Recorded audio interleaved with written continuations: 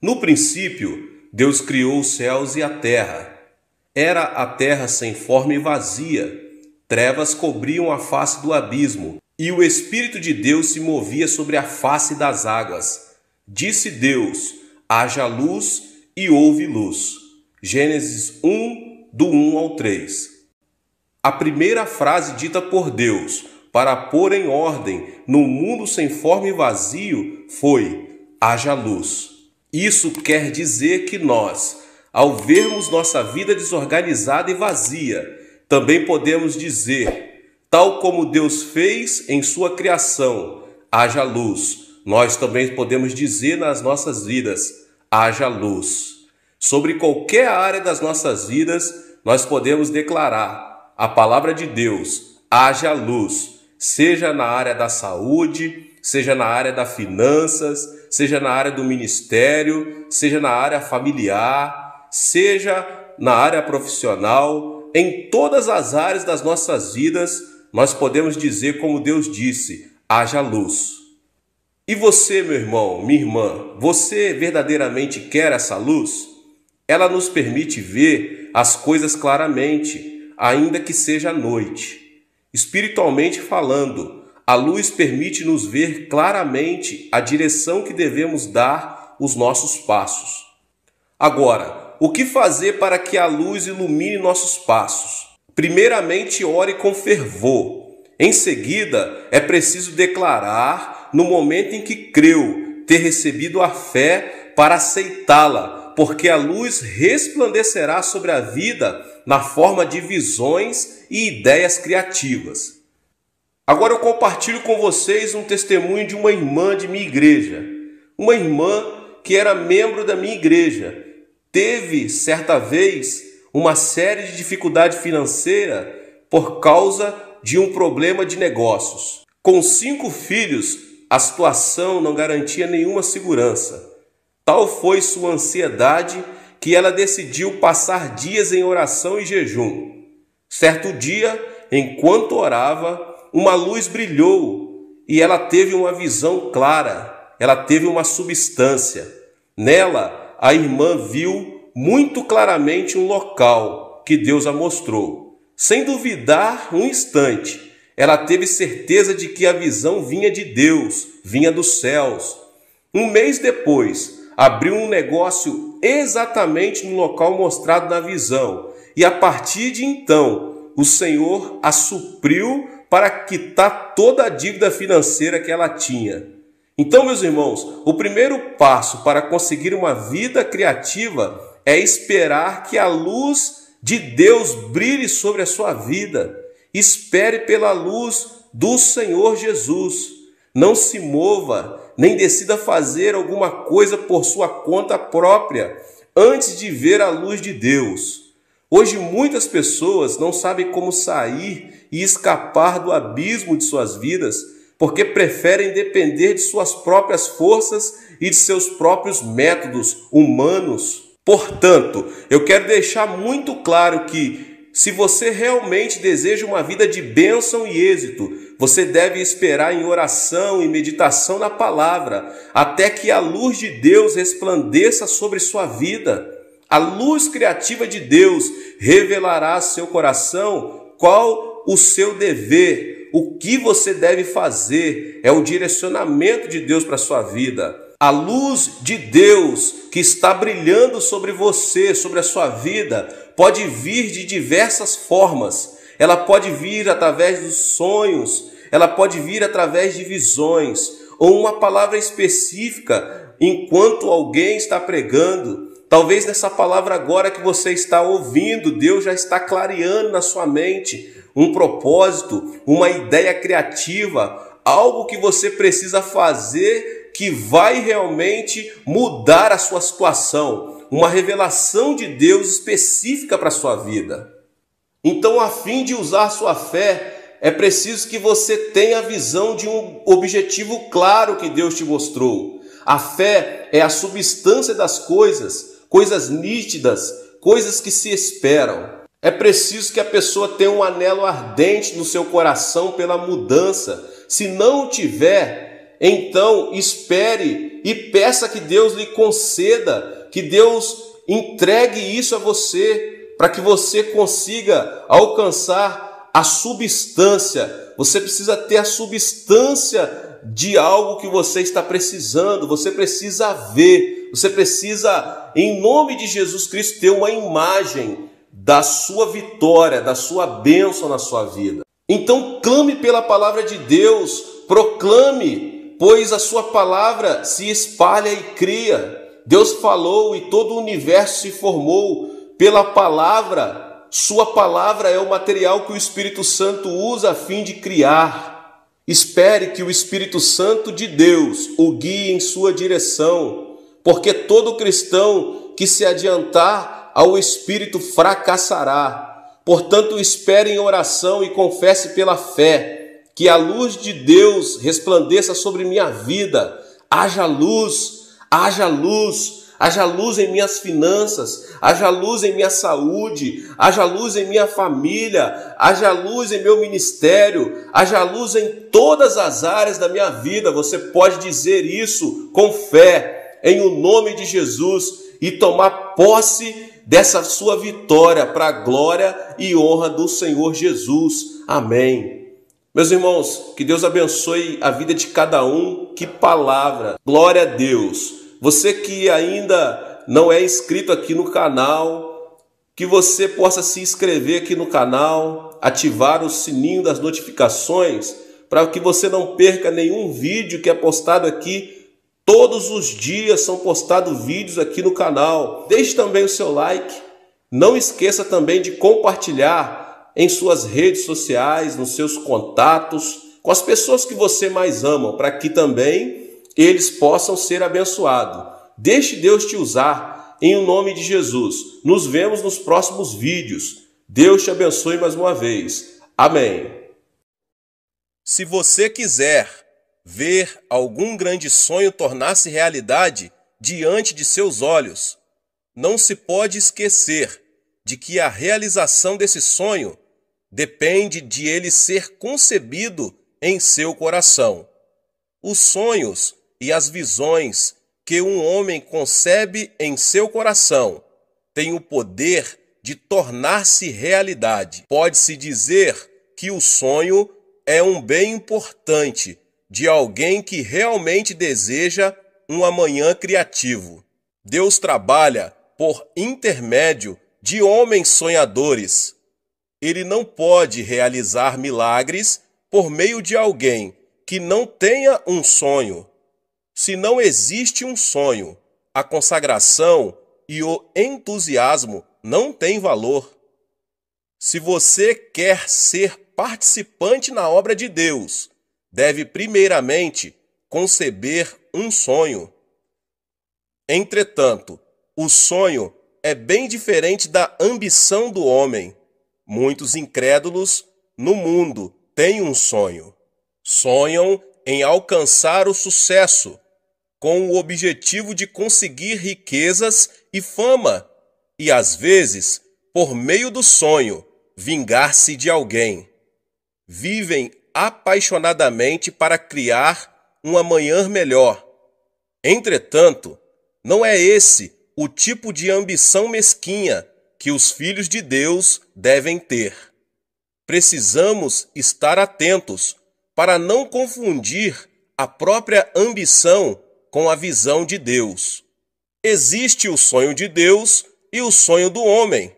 Devemos ter cuidado com um sonho concebido por causa de um exagerado desejo de sucesso.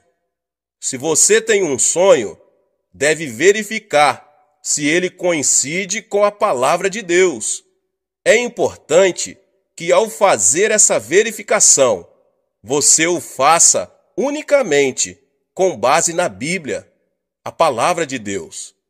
Nenhuma revelação ou visão pode estar acima da autoridade da palavra de Deus. A palavra é o parâmetro de todo julgamento quanto à relação de Deus com o homem. Portanto, mesmo que você se apaixone por um plano, se este não coincide com a palavra, não representará a vontade divina.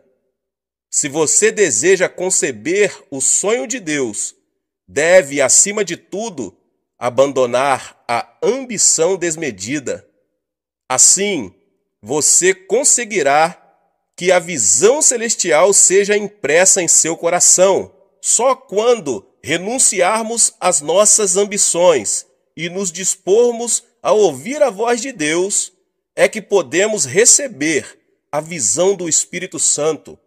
É disso que se está tratando quando falamos dos sonhos na quarta dimensão. No princípio de sua atuação como líder entre os israelitas, Moisés sonhou com a salvação de sua nação, mas fracassou. Isso aconteceu porque ele sonhou levando em consideração os próprios pensamentos e planos. Por mais que se trate de um sonho de valor, se ele não for concebido segundo os planos divinos, passará a ser reflexo da ambição e produto da mesquenharia humana. Abraão e José venceram em meio a circunstâncias tidas como impossíveis. Por quê? Porque eles sonharam junto com Deus. Se você quer conceber o sonho nascido no coração de Deus, deve caminhar junto do Senhor. Deus revela seus sonhos por meio da Bíblia, do Espírito Santo, das pregações e da oração. O sonho de Deus não se compara com o sonho do homem, porque ele é sempre grande. O que Moisés sonhou quando jovem foi a independência de sua nação. Ele não tinha outro desejo, mas o sonho de Deus era algo muito maior que isso. Deus sonhava com Israel, com uma nação sacerdotal em meio às nações da terra. Êxodo 19:6 diz: vocês serão para mim um reino de sacerdotes e uma nação santa. O sonho de Deus ultrapassa a nossa imaginação. Devemos ter sonhos maiores e temos de nos apegar a nossos sonhos pela vida toda. Assim, poderemos ver que esses sonhos se tornarão realidade, ainda quando enfrentamos dificuldades e aflições. Você precisa fazer de Deus o diretor da sua vida. Há pessoas que se contentam em planejar. Planejam o dia, o mês, o ano e a vida e tentam viver de acordo com esses planos. Entretanto, antes de estabelecermos nossos planos pessoais, Deus já tem preparado um plano para nós. Ele administra todo o universo de acordo com seu plano. Devemos então conceber o plano de Deus para nós e obedecer-lhe antes de fixarmos metas para a nossa vida. Pensamos na vida como uma obra teatral. Deus será o diretor de nossa vida. Ele já preparou tudo, meus irmãos e minhas irmãs, e nós somos os atores que se movem no tempo e no espaço, por ele pré-estabelecidos. Todos nós somos atores. A função do ator é exteriorizar o melhor possível todos os momentos e as palavras editadas pelo diretor. Se o ator age como quer, põe a perder a obra teatral. Portanto, como atores da vida, devemos de falar e atuar de acordo com o que Deus estabeleceu em seus planos para nós.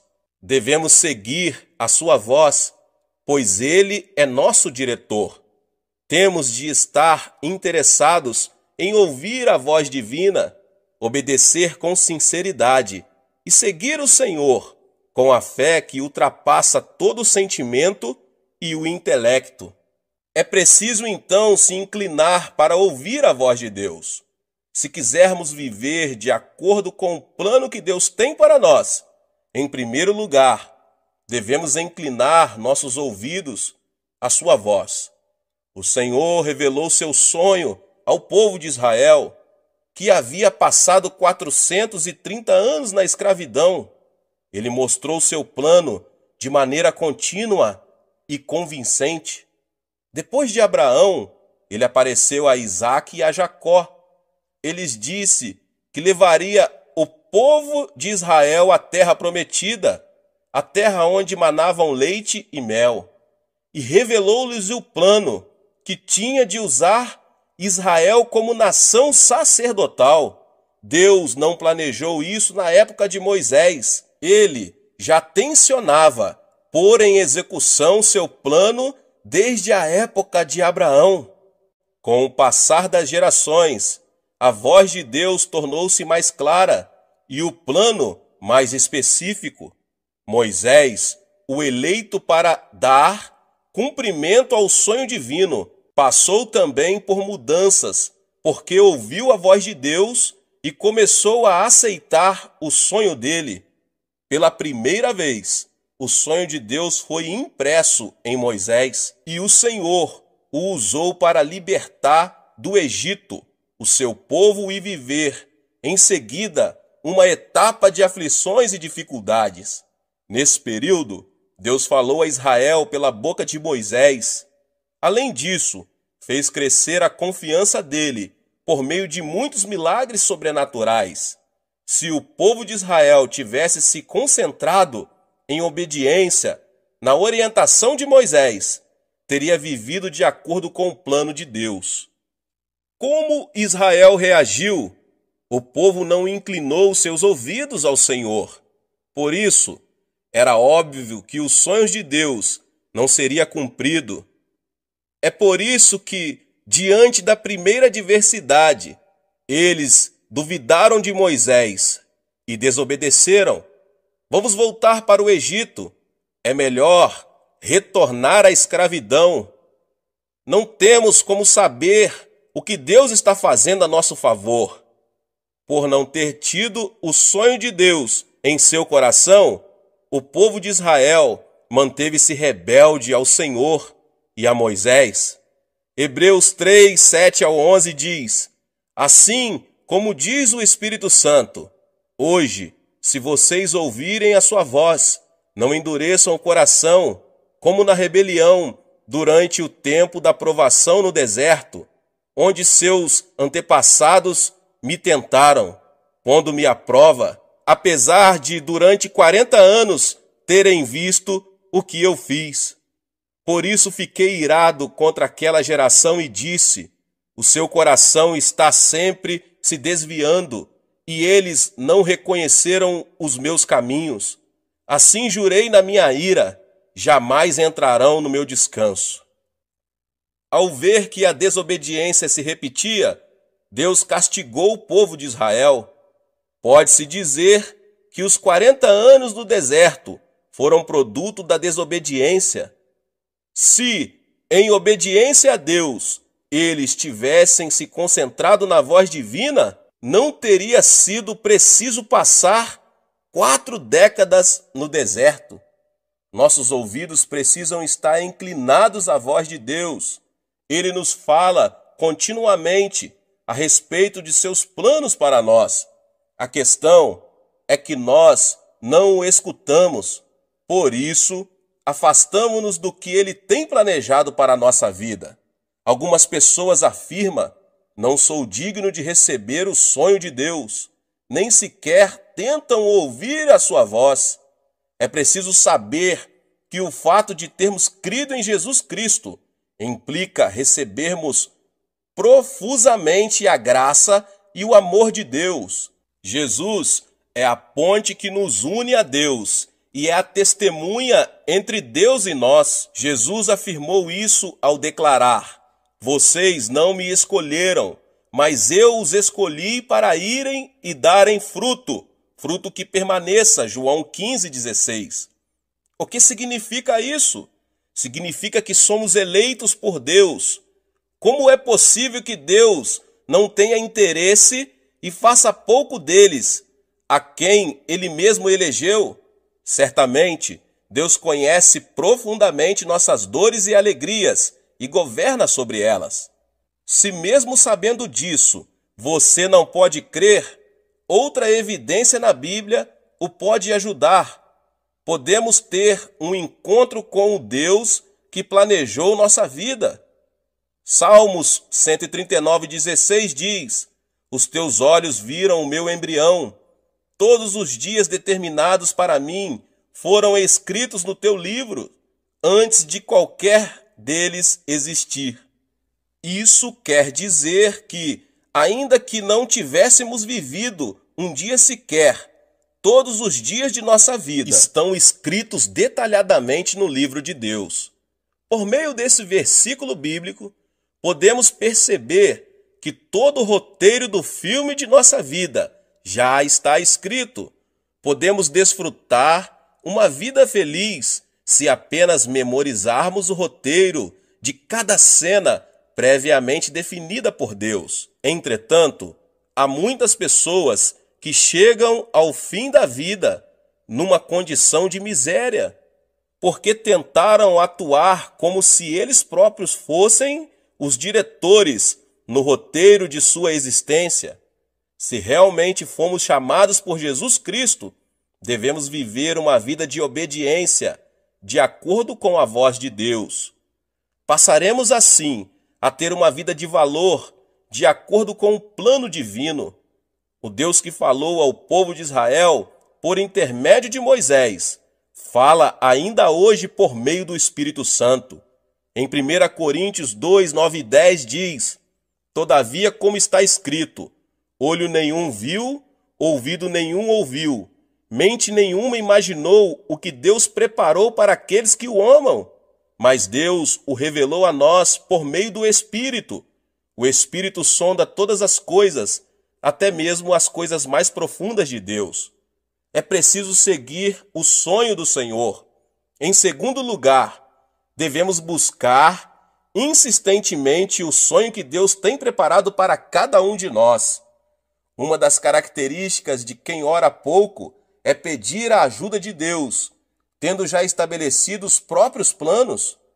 Isso não é mais de que um reflexo de humanismo estabelecer algo pela própria iniciativa e depois pedir a ajuda de Deus é uma atividade errada. Ó oh Deus, vou seguir por este caminho, vou fazer esses negócios e creio que tu me ajudarás. Este tipo de atitude não agrada a Deus, por mais que a oração seja acompanhada de jejum e vigília. Você pode imaginar um pai ajudando seu filho, mesmo sabendo que ele está se dirigindo para um caminho errado? Que tipo de pai ajudaria seu filho a se encaminhar para a desesperança, pedindo ainda: Este é o meu desejo, deixe-me ir, sei que o Senhor me ajudará nisso?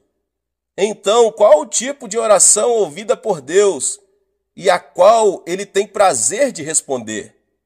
Aquela em que você pergunta ao Senhor quais os planos e os propósitos dele para a sua vida. É preciso chamar a Deus em oração, pedindo que ele revele com mais clareza os seus planos. Entretanto, meus irmãos e irmãs, há muitas pessoas que definem antecipadamente seus planos e só depois pedem a ajuda de Deus. Muitos que me pedem para orar em seu favor demonstram esta atitude, pedem que eu procure convencer Deus de aprovar aquilo que eles mesmos já definiram. Isso é como dizer: Eu vou adiante e tu, Senhor, vem atrás de mim. Está absolutamente errado. Como devemos buscar o sonho de Deus? É por meio da palavra e do Espírito Santo. Deus responde as orações daqueles que o buscam com fervor. Ele não revela seus sonhos àqueles para quem ter ou não ter um sonho é indiferente. Para realmente desejar ter o sonho de Deus, você deve primeiramente buscar a revelação por meio da palavra e do Espírito Santo. Deus responde às nossas orações por meio da Bíblia e da presença do Espírito Santo, o que é também acompanhado pelo forte desejo ligado ao sonho de Deus. quando anelamos pela palavra e buscamos a orientação do Espírito Santo, o Senhor põe em nosso coração um forte desejo, como se ele fosse confirmado por uma coluna de nuvem e por uma coluna de fogo. Para buscar o sonho de Deus, é necessário que você verifique se o seu desejo é verdadeiro ou falso. Isto é, que você comprove se o seu desejo é o sonho de Deus ou não. Podemos discernir se um sonho é de Deus apresentando-o ao Senhor em oração. Se o sonho vem de Deus, a sensação de forte desejo permanece na oração. Ao contrário, se o fervor diminui à medida que o tempo passa, é certo que o desejo não é de Deus. Trata-se apenas de uma emoção momentânea ou de um engano de Satanás. É preciso ter paz no coração. Outra forma de buscar o sonho de Deus é verificar se sentimos paz no coração. Diante de um sonho, ao olhar para o caminho revelado por Deus, você tem de sentir uma paz imutável. A paz interior tem de transbordar dentro de seu ser. Caso contrário, se você sente ansiedade e temor, esse não é um sonho que provém do Senhor. Nesse caso, você deve continuar orando para alcançar a certeza quanto ao sonho divino deve orar para que o forte desejo chegue ao seu coração por meio da palavra e do Espírito Santo. Deve continuar orando até que a convicção transborde em seu coração. E por último, você tem de alcançar a paz sempre que pensa no sonho que está buscando. Se mesmo seguindo esses passos, você não conseguir ter a certeza que vem da vontade divina a ser cumprida, deve continuar esperando. Muita gente age rapidamente, passando por cima da obra de Deus, o que resulta em problemas. Esse tipo de atitude não está distante da desobediência. Mesmo não havendo resposta imediata, você deve esperar e não agir com precipitação, porque estará desobedecendo a Deus.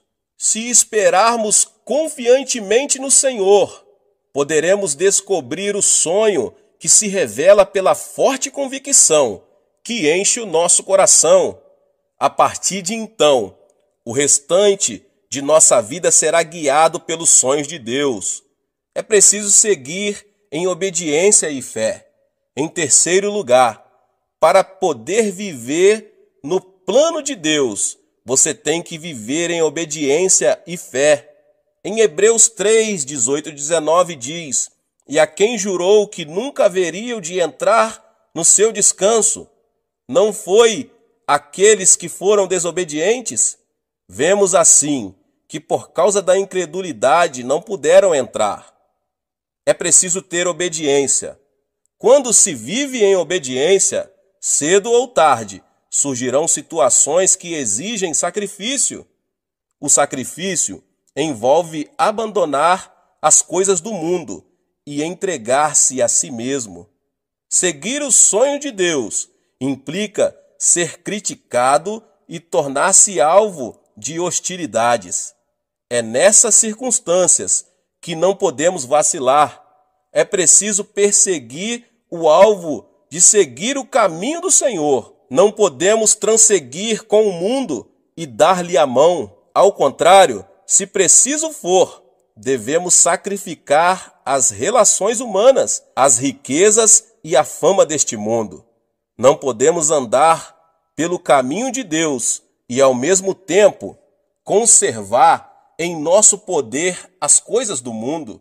É preciso renunciar a tudo o que resulte em sucesso material pois essa é a verdadeira obediência. De acordo com os incrédulos, a obediência pode parecer um sacrifício tolo. O certo, porém, é que Deus não pode se tornar senhor da vida dos que lhe são desobedientes. Segundo o evangelista Lucas, até mesmo escutar o que dizem os familiares, indo contra os caminhos divinos, é empecilho para ser discípulo do Senhor. Lucas, capítulo 14, versos 26 e 27 diz: Se alguém vem a mim e ama a seu pai, sua mãe, sua mulher, seus filhos, seus irmãos e irmãs, e até sua própria vida mais do que a mim, não pode ser meu discípulo. E aquele que não carrega a sua cruz e não me segue, não pode ser meu discípulo. Jesus foi muito claro: se alguém não renunciar a pais, esposa, filhos e irmãos, e não negar a si mesmo, não é digno de seguir o caminho dos sonhos de Deus. Portanto, se você quer seguir o sonho de Deus, deve obedecer e aceitar com satisfação o sacrifício que isso implica. Com o fim de provar Abraão, Deus lhe ordenou: tome seu filho, seu único filho, Isaque, a quem você ama, e vá para a região de Moriá. Sacrifique-o ali, como holocausto, num dos montes que lhe indicarei. Gênesis 22, 2. Qualquer pai sabe quanto seria difícil oferecer um filho em holocausto. Para Abraão, isso era especialmente difícil, uma vez que o filho lhe nascera quando ele tinha já cem anos. Sacrificar seu filho, como o Senhor lhe ordenara, não era nada fácil. Entretanto, Abraão obedeceu sem discutir, como ele era um homem que vivia pelo sonho de Deus, confiou e obedeceu a Deus sem reservas. Abraão dirigiu-se para o monte junto com seu filho pequeno, Isaque. Em uma mão tinha o fogo e em outra o cutelo. Isaque disse: Pai, sim, meu filho, aqui temos o fogo e a lenha, mas onde está o cordeiro para o holocausto? O cordeiro, meu filho, Deus proverá, respondeu Abraão. Por acaso, essa resposta não denota uma fé extraordinária e uma obediência fora do comum? Ao ver a grande fé que Abraão demonstrara, decidido a sacrificar o filho, se era essa vontade divina, Deus teve a certeza de que se tratava de um vaso que podia conter seu sonho. Da mesma forma, meus irmãos e irmãs, somos provados por Deus. Ele quer saber se somos capazes ou não de receber dele e dar cumprimento a ele.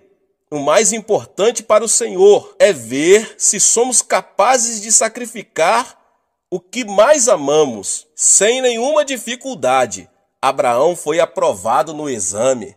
Se realmente quisermos tomar posse do sonho de Deus e cumpri-lo, é necessário que, em obediência, renunciemos às coisas que mais amamos. É preciso também ter fé. Depois de buscar o sonho de Deus e dele tomar posse, outro ponto importante é caminhar pela fé. O que é a fé? O apóstolo Paulo declara em Romanos 4,17: Como está escrito, eu o constituí pai de muitas nações.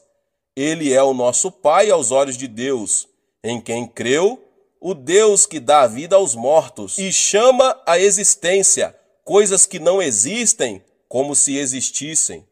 Fé é crer que Deus pode ressuscitar os mortos, chamar à existência o que não existe, como se existisse. É fácil crer nisso. Crer em Deus, ou melhor, confiar em Deus sem reservas, não é tão fácil quanto parece. Se, porém, decidirmos crer em Deus, ele se converterá no Senhor de nossa vida. Quem ainda está preso à carne precisa ver, ouvir, sentir o gosto e tocar. para que consiga crer. Não crê no mundo espiritual e usa os sentidos como orientação. Nunca poderá desenvolver uma fé espiritual, porque crer em Deus significa crer nas coisas que não se podem perceber com os sentidos. Por exemplo, acreditamos que existe o céu sem que dele tenhamos provas concretas. Assim, se quisermos ver Deus com os olhos, tocá-lo com as mãos e ter prova de sua existência por meio de alguma evidência física, estaremos cada vez mais distantes do reino dos céus. Os que estão presos ao domínio da alma vivem em função do intelecto e da ciência. Não creem no que não seja lógico, porque, segundo eles, somente o científico e o lógico têm importância. As coisas de Deus, porém, em sua maioria, não se explicam cientificamente. Deus dividiu o Mar Vermelho e ressuscitou um homem que havia três dias estava morto. Do ponto de vista científico, não é lógico que uma pessoa morta há três dias volte a viver. Entretanto, Jesus, o Filho de Deus, realizou esse milagre. Crer em Deus é crer mesmo das coisas que não são lógicas e científicas. Só vivendo em função do Espírito, alguém pode crer no invisível e no impossível. Pode crer no que os olhos espirituais veem e no Deus que é a única justiça no mundo espiritual.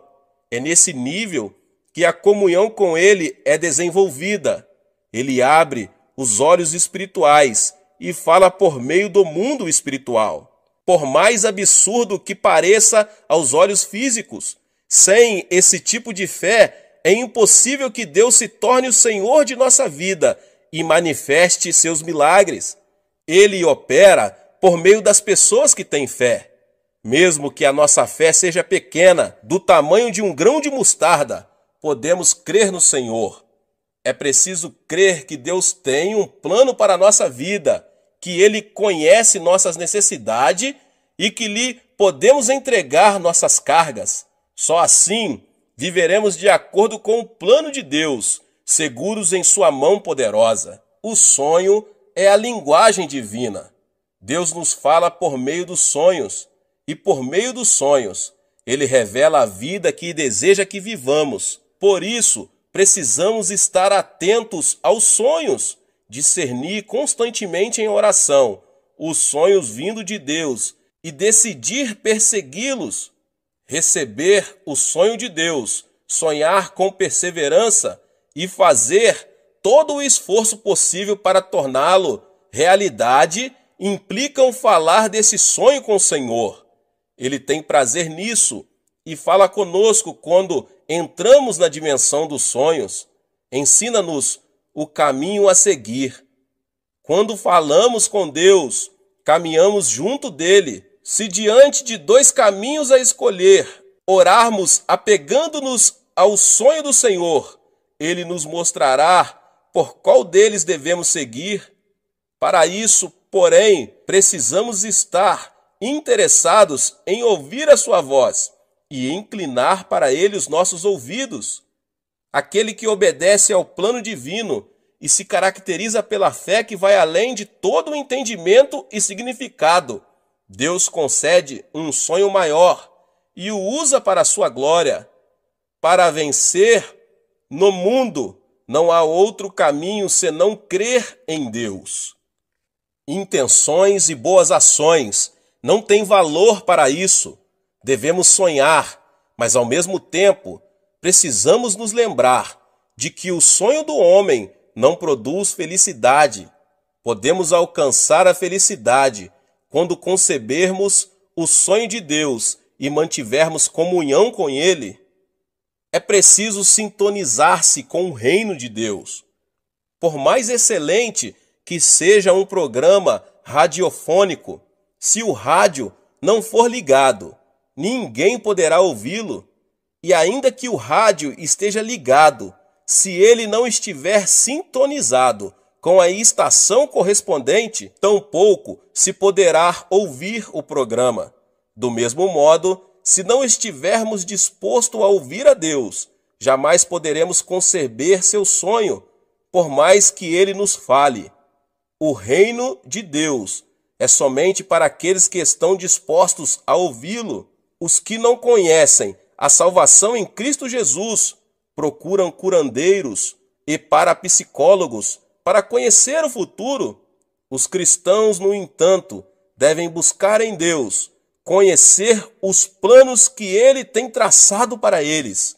O Senhor quer nos falar diretamente sobre sua visão. Se desejarmos receber o sonho de Deus, devemos, antes de mais nada, ouvir a sua voz.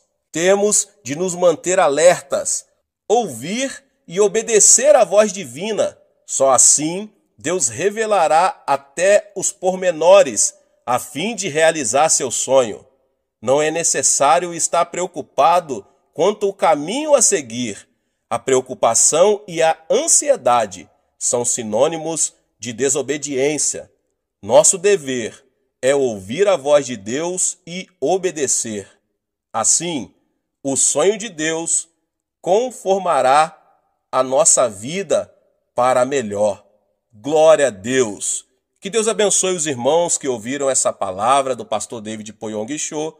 Você que ainda não é inscrito aqui no canal, se inscreva no canal e ative o sininho das notificações, pois todos os dias são postados vídeos abençoados aqui no canal, para você não perder nenhum vídeo que são postados aqui. Deixe também o seu like e não esqueça de compartilhar esta palavra, esta mensagem com as pessoas que você mais ama. Amém? Onde não há revelação divina, o povo se desvia, mas como é feliz quem obedece à lei. Provérbios 29, 18. Devemos conceber e viver sonhos. Sem profecia, o povo se desvia. Sem profecia, ou seja, sem visão, não há esperança no amanhã. A galinha deve chocar o ovo para que o pintinho consiga quebrar a casca. Devemos conceber os sonhos e as visões de Deus, para que esse sonho e essa visão rompam a casca e deem a luz na realidade física. Que sonhos você tem? É um sonho carnal ou um sonho que provém de Deus? É importante separar isso, porque mesmo os sonhos de lascívia se manifestam na terceira dimensão física. Existe uma grande diferença entre o desejo carnal e um sonho saudável. O sonho se distingue pela esperança no amanhã e não se relaciona com a injustiça e o pecado. Em contrapartida, o desejo carnal sempre mantém relação com a ilegalidade e o pecado. Existe uma razão pelo qual Moisés fracassou em seu plano para salvar seu povo quando era jovem. Seu fracasso se deu ao fato de que ele sonhou segundo seu próprio critério. Por mais que um sonho seja bom ou agradável, se ele não provém de Deus, não é mais que uma ambição humana. Abraão e José superaram a dificuldade porque sonharam juntamente com Deus. Existe um sonho que provém de Deus, que recebemos por meio da comunhão com Ele. Deus nos faz sonhar por intermédio da Bíblia, do Espírito Santo, da pregação ou em um momento de oração. O sonho de Deus é imenso em comparação com o sonho do homem. Moisés sonhou com a libertação de seu povo. No entanto, Deus sonhou com a exaltação de Israel entre as nações, como uma nação sacerdotal. Deus disse a Moisés: Vocês serão para mim um reino de sacerdotes e uma nação santa. Essas são as palavras que você dirá aos israelitas. Êxodo 19, 6. Assim, o sonho de Deus é maior e mais amplo. É por essa razão que devemos sonhar os sonhos ilimitados de Deus e devemos agarrar-nos a esse sonho por toda a vida, como José fez. É aí que o sonho de Deus nos faz superar qualquer tipo de circunstâncias e obstáculos. O sonho que provém de Deus pertence à quarta dimensão é o sonho que domina e se manifesta na terceira dimensão. Eu o convido agora a avaliar o sonho que você guarda em sua quarta dimensão e modificar seu sonho da seguinte forma: primeiramente, espere coisas grandes e ocultas. O sonho que provém de Deus pertence à quarta dimensão. É o sonho que domina e se manifesta na terceira dimensão.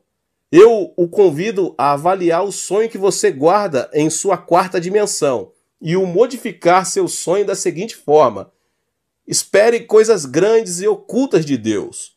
Sonhe com coisas grandes e ocultas que Deus tem preparado para você. Não sonhe que seu caminho é como estar à beira de um abismo. Espere no sonho de Deus.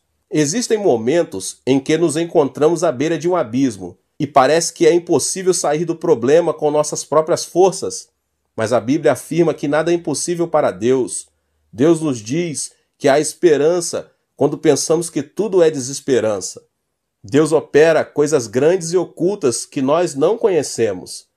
Nosso dever é crer, confiar e seguir Deus incondicionalmente, pois essa é a atitude que agrada a Deus. É por isso que devemos esperar e sonhar com um grande milagre por parte de Deus. Foi no final do ano de 1965, enquanto esperava um voo de regresso no aeroporto do Rio de Janeiro, no Brasil, logo depois de ter dirigido uma cruzada nesse país, que um homem com o uniforme da polícia se aproximou de mim e pediu meu passaporte. Pensei que se tratava de um controle policial, mas aquele policial desapareceu com o meu passaporte. Não podia acreditar. Não tinha nenhum conhecido no Brasil. E nessa época era impossível encontrar um oriental, muito menos um coreano. Os minutos estavam contados, e depois de tudo que aconteceu, não pude embarcar no avião.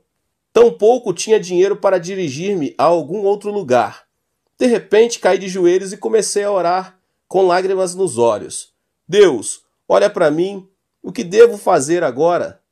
Acaso não prometeste que para os que amam a Deus e foram chamados conforme teu propósito, todas as coisas concorrem para o bem? Eu te amo, e segundo o teu propósito vim ao Rio de Janeiro para pregar a tua palavra. Só o Senhor conhece minha aflição. Pai, creio em tua promessa que todas as coisas contribuem para o meu bem. Senhor, fica comigo. Não podia fazer outra coisa além de orar. Continuei orando, quando um cavalheiro se aproximou do local onde eu estava e me disse: O senhor não é o pastor Chu? Jamais imaginei que alguém se aproximasse de mim para oferecer ajuda e olhei ao meu redor. Estava certo de que era a voz de uma pessoa, então respondi: Sim, senhor, sou o pastor Yang Cho. O senhor me conhece? Claro que sim. Faz dez anos, um amigo meu, Levis Richard, foi à Coreia do Sul como missionário e enviou-me um artigo de um jornal onde aparecia sua foto. Foi muito comovente ler o artigo, mas que incrível! Que prazer vê-lo aqui. Nunca pensei que depois de dez anos iria vê-lo e conhecê-lo só de olhar. Mas o que está fazendo aqui? Eu vim ao aeroporto para despedir-me de uma pessoa e de repente pensei que o Senhor podia ser o pastor Cho. Repentinamente, lágrimas caíram de meus olhos. Era tão imensa a graça de Deus que não podia conter meu pranto. Deus havia respondido à minha oração, expliquei ao cavalheiro minha situação e ele me contou que isso era comum no Brasil, especialmente com relação a estrangeiros do terceiro mundo. Então, ele não lhe pediu dinheiro? Seguramente não teria levado o passaporte se tivesse dado um pouco de dinheiro. Mas de qualquer maneira, me alegro que esteja bem. Graças à ajuda dessa pessoa, pude regressar ao meu país sem inconvenientes. Se Deus não tivesse respondido à minha oração, não me atrevo a imaginar o que me teria sucedido. Deus é um Deus bom, resgata-nos do abismo, este milagre produziu dentro de mim um amor e uma confiança mais profunda em relação a Deus. Você também pode experimentar o amor de Deus. O milagre não ocorreu porque eu era o pastor ou uma pessoa importante. Se você não esmorecer e continuar confiando em Deus, sem abandonar a fé, Deus fará coisas grandes e ocultas que você não conhece. Experimente o milagre por meio da fé. O Êxodo é um excelente exemplo para compreender Quão grande e perfeito é o amor de Deus! Deus liberou o povo de Israel dos 430 anos da escravidão do Egito por meio da liderança de Moisés. Mas uma primeira muralha impedia o êxodo. O Mar Vermelho aguardava a chegada dos israelitas. Atrás, os soldados do exército de Faraó vinham com carros dispostos a matá-los. Era uma situação em que não havia nenhuma opção. Adiante, um grande mar. Atrás, todo um exército armado. Entre o povo se levantavam vozes de murmuração. O povo de Israel clamava, dizendo que não restava outra coisa senão morrer. E todos começaram a murmurar contra Moisés. Foi nesse momento que Deus disse a Moisés: Não tenham medo, fiquem firmes e vejam o livramento que o Senhor lhes trará hoje.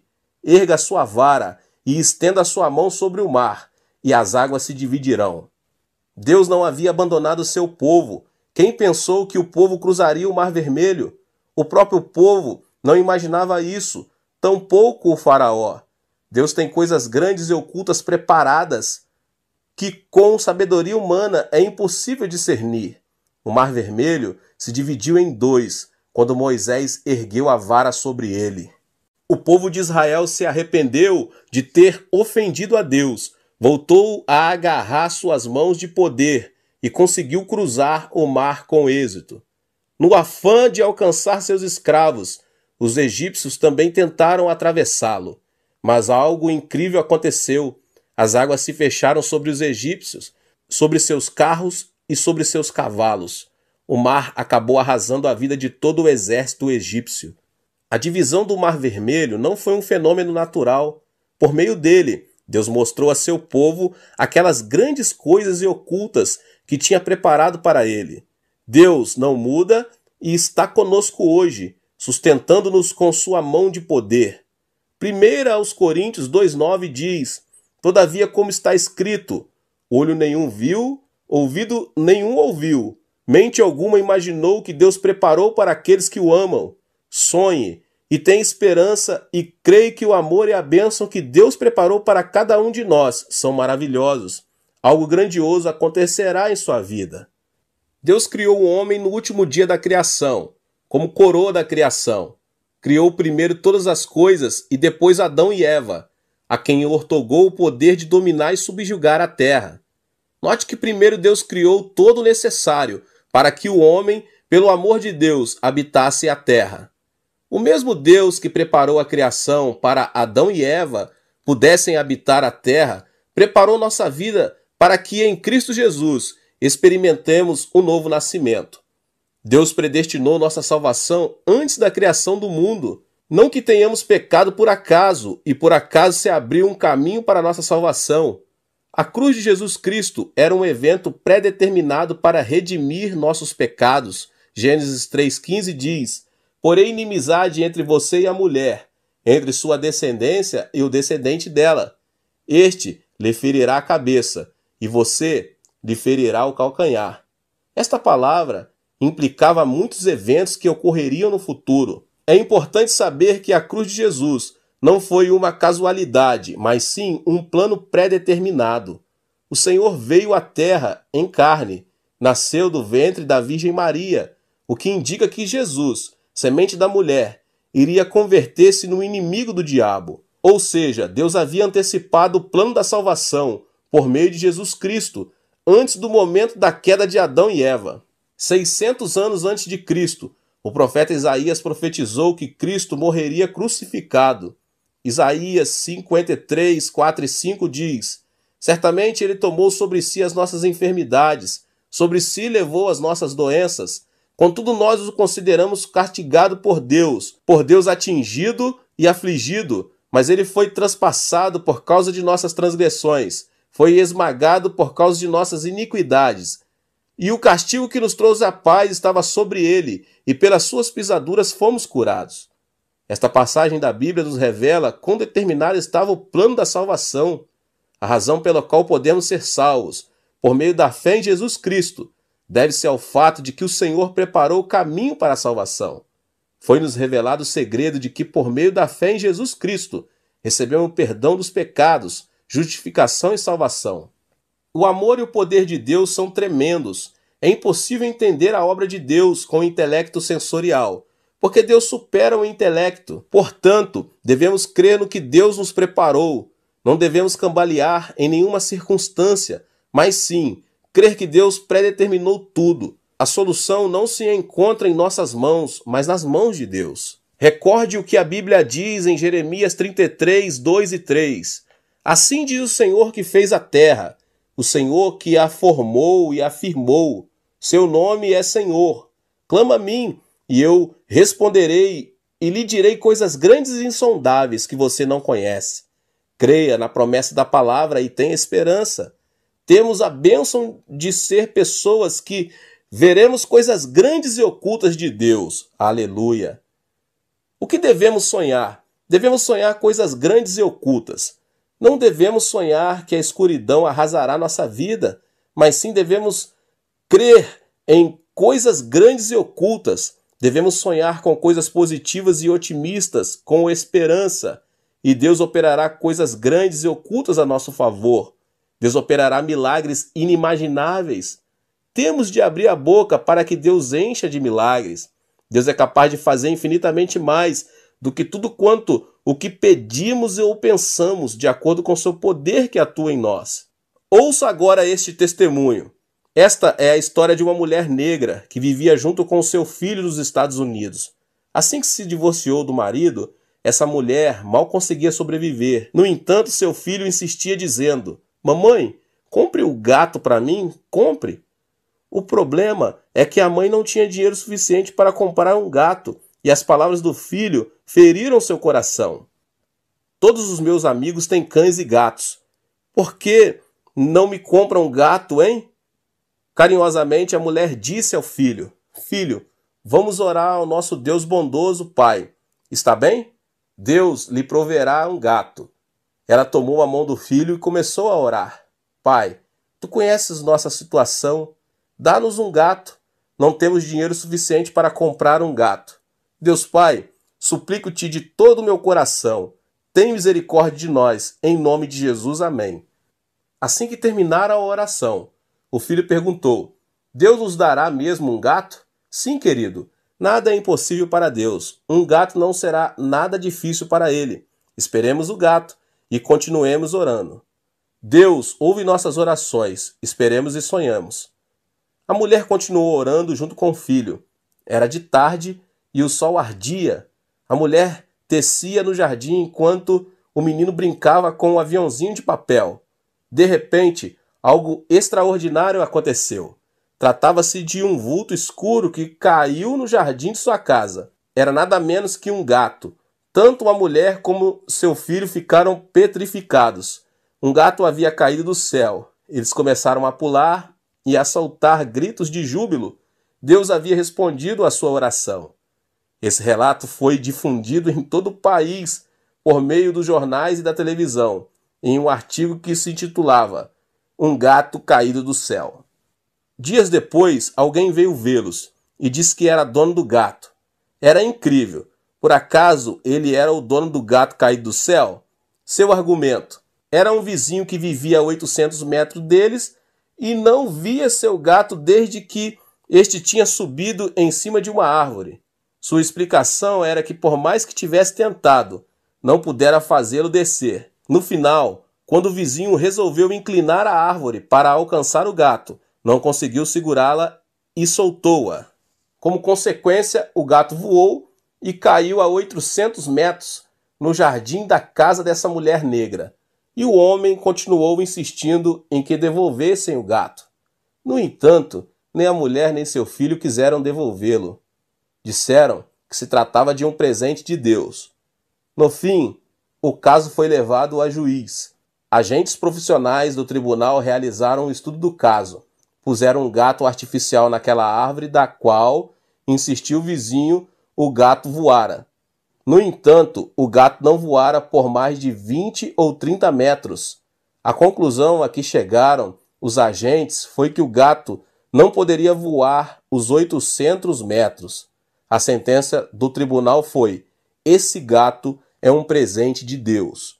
É uma história pouco comum, mas Deus é um Deus que torna essas coisas possíveis Sonhe com algo inimaginável. Os grandes e os pequenos sonhos formarão sua vida. Deus quer que esperemos e sonhemos com grandes milagres. É aí que esses sonhos se convertem em nossos sonhos. Devemos ter a convicção de que Deus preparou algo maravilhoso para a nossa vida. Devemos sonhar que Deus revelará coisas grandes e ocultas. Ore e não esmoreça. Ao esperar em Deus, o sonho é seu. Deus abençoe a vida de cada um. Glória a Deus. Que você possa se inscrever aqui no canal, que você possa, em nome de Jesus, é, ativar também o sininho das notificações. Não esqueça de deixar seu like e também de compartilhar esse vídeo com as pessoas que você mais ama. Deus te abençoe.